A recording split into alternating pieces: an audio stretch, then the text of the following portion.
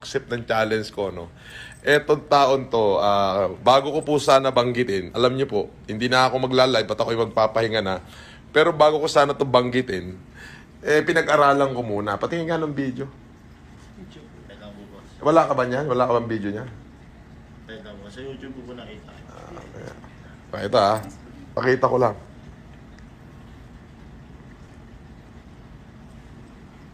Hi to Maria Balitaan, Roy Lintao, hi, hi Rolly, Bulaboy, uh, Josephine Montemayor, uh, please. This is my life. Tinubuan ako ng balbas. Ipapakita ko, eto. Sana? Lakihan mo. Lakihan mo, lakihan mo.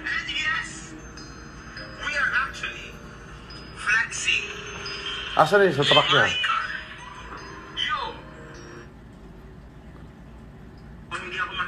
ah, magpakita kung anong meron. O baka hindi yan yun. Ah. Ito po yung boss. Ayan, medyo i-atras mo ng konti.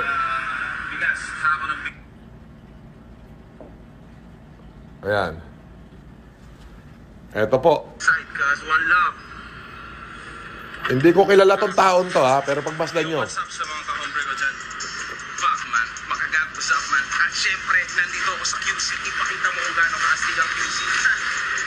Itong pagmumukhang to ay fucking super band sa QC but then nandito tayo just for the sake of it. Kasi syempre, um, si Idol Marcos ay ay nag uh, ano ng challenge, gumawa ng isang challenge. Mayaman challenge. At syempre, dahil ako, kasama ang pamilya ko sa Extreme House, kami ay may... Idol, Marcos! Hindi lang ikaw ang merong R8. Actually, ito ay V10. Limited edition, God! yes! God damn! Actually, matagal ko na itong gustong ipakita sa inyo, mga ka-hombre. You see? Kasi, but ayaw ko talagang magyabang, mag-flex and all that. But, this is the real me. This is my car. And you know, um, papunta na tayo sa place kung saan, you know, ma mamimigay tayo ng bigas kasama ang pamilya ko sa Extreme House. Yo, Marcos!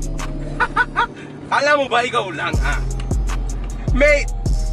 Mayaman challenge accepted, guys! Dito na yung ibang sasakyan ng mga tropa natin. Pwede mo namang ipakita din. Know, they they are waiting for us kasi syempre kasama ng pamilya ko um, kasama kasama ko ang pamilya ko dito ang Extreme House. Mate, this year man, we will be grinding our asses off. Magpapakita kami ng malul malupitan man. You want a yacht? You'll have a fucking, we'll have it. You want a hammer? We have it. You want a helicopter? We have it, cuz that's how it works. Mate, kaya tigilan nyo na yung mga talk shit nyo, because ito yung real. Marami pa kaming ipapakita. Marami pa akong ipapakita kung sino talaga ako.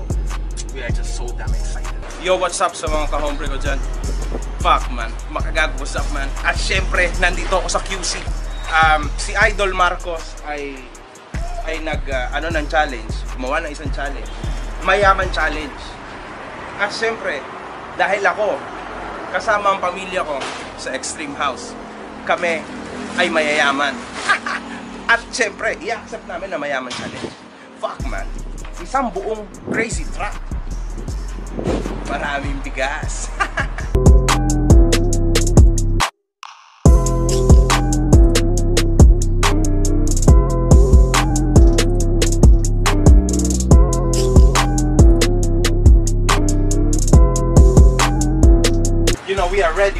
Cuz. How much money do you need, man? Kapag tumulong kayo, sampung beses ang babalik sa inyo. Ganyan talaga siguro kami kasi syempre, extreme kami. Extreme family, man.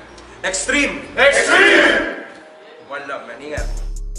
Okay, hindi ko po siya kilala, pero may narami nagsasabi na siya raw ay gago. Sa pangalan pa nga naman, makagago. Pero alam mo yung pagiging gago mo, kung naririnig mo ako ngayon, makagago. O para sa akin, tulin-tuli ka. Isa kang tunay na lalaki. Iyang kagaguhan mo ang kailangan na mamamayang Pilipino sa panahon ngayon. Ah, ayun. Yun po yung dahilan kung ba't ako nag-live. Kasi po nagre-review po ako ng comment sa aking YouTube channel. Para po bukas sana ma- ma-review namin ngayong magdamag para bukas malaman ko po yung, yung kung sino po yung babimigyan ng bigas. Eh, akalain niyo pong sa pagre-review ko sa aking YouTube channel ng mga comment, nakita ko po yung makagago. Ha? Sinagot ni Makagago ang hamon ni Sir Francis Leo Marcos.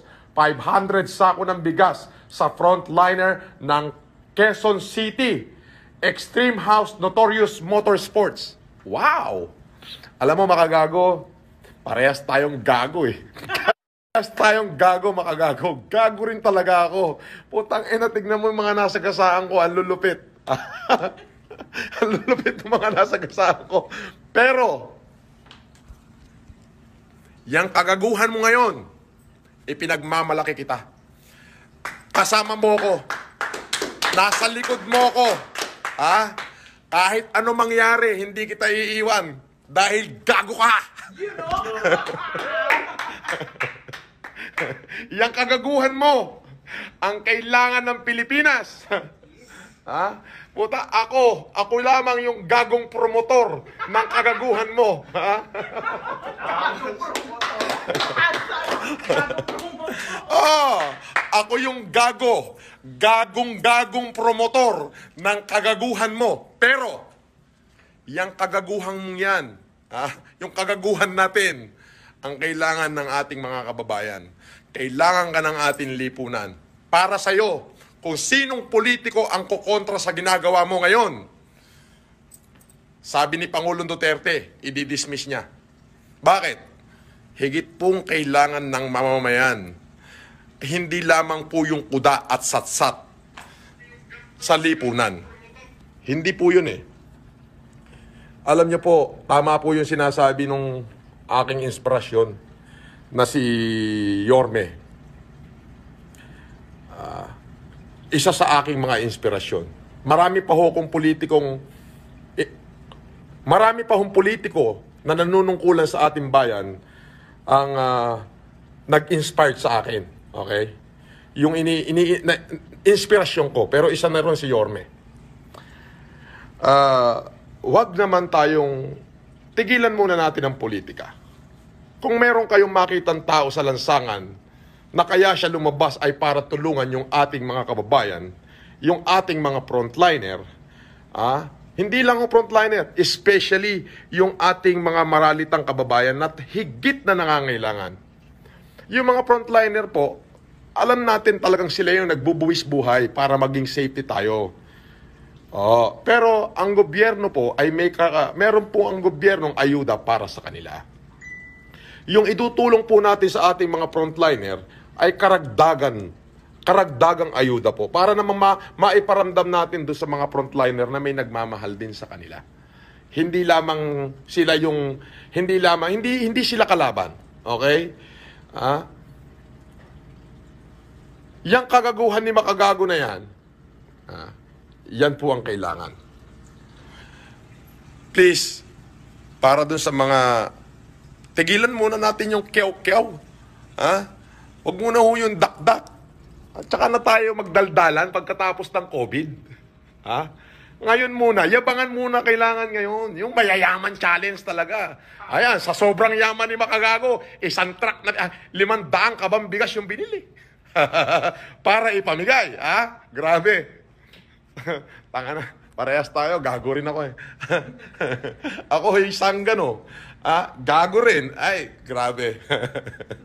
Pero, makagago. Mabuhay ka, barako ka, sampu ng yung mga kasamahan. Ha?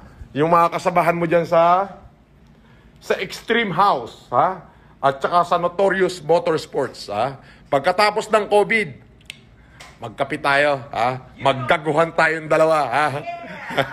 Alam mo, gustong gusto kong nakikipaggaguhan sa mga gago.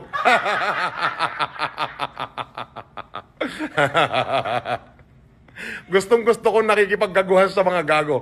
Pero grabe itong challenge to. Baka gago, mabuhay ka. Wala akong copy ng video mo eh. Kung may copy lang ako, i-repost ko sa aking YouTube channel yun eh. O kaya dito sa aking Facebook para makita ng taong bayan kung gaano ka katalaga katarantado at kagago. Pero, uulitin ko, yung kagaguhan mo ang kailangan ng ating mamamayan ngayon. Ha? Baka gago. gago ka talaga. Parehas tayo. Ako promotor ng kagaguhan na nangyayari ngayon. ako yung promotor ng kagaguhan na to. Pero, yun lang po, hindi na ako magtatagal. Para doon sa lahat ng viewers na to, pakishare naman tong video na to para makarating kay Makagago ha. Alam nyo po, pag nakakakita po ako ng tumatanggap ng challenge ko, hindi ko po yun pinalalampas. Ha? Makagago! Ang, wala na ako iba sasabihin sa'yo, kundi mabuhay ka. yang, yang kagaguhan mo, kailangan niya ng Pilipinas. Gago ka talaga.